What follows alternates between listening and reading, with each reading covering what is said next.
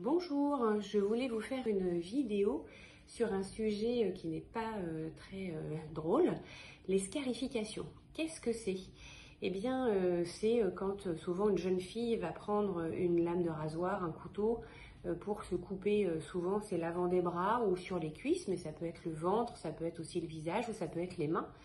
Et en fait, quand on a tellement d'angoisse à l'intérieur de soi, euh, c'est tellement insoutenable, insupportable, que le fait de se faire une douleur physique va arrêter l'angoisse à l'intérieur de nous et euh, ça va euh, nous soulager. Cette douleur physique va interrompre la douleur psychique.